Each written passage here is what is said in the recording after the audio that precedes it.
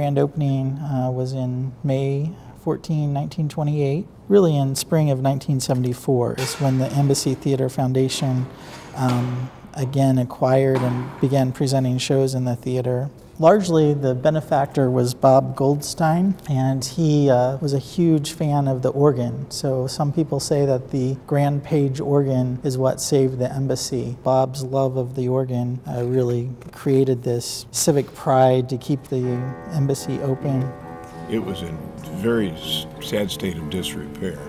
There was well, there was coal soot everywhere. There's a lot of coal soot. There was a lot of dirt, a lot of chewing gum on the floors and under uh, the seats. The uh, floor was in the um, stage, for example, was very uh, uh, dark wood.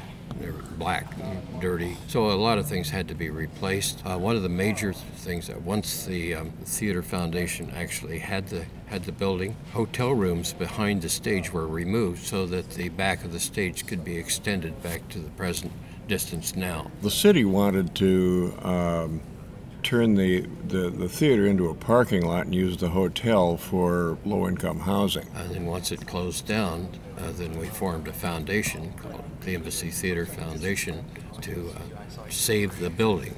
And uh, the, uh, the owners of the building wanted a quarter of a million dollars for it. So ultimately, we raised a quarter of a million dollars and uh, we, we now own this building. Back in the 70s, a quarter million dollars was real money. The, the amount that we actually paid for the building was probably a pretty good deal. The thought was that we could raise it from the 300 millionaires that lived in the county.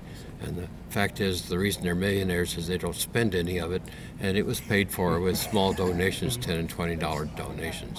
That's what actually got it started. The, the, got it started. the small donations were the catalyst, which then in turn attracted the movers and shakers who decided, well, if we're gonna if we're gonna look like movers and shakers, we better get on the bandwagon here. So they yeah. sold uh, bumper stickers that I gave to save the embassy down at the little kiosks in Southtown Mall back when that was a shopping center in Glenbrook, and people would come by. What did we? Two dollars a piece for those. Two dollars a piece. Yeah, nickel and dime did the best we could.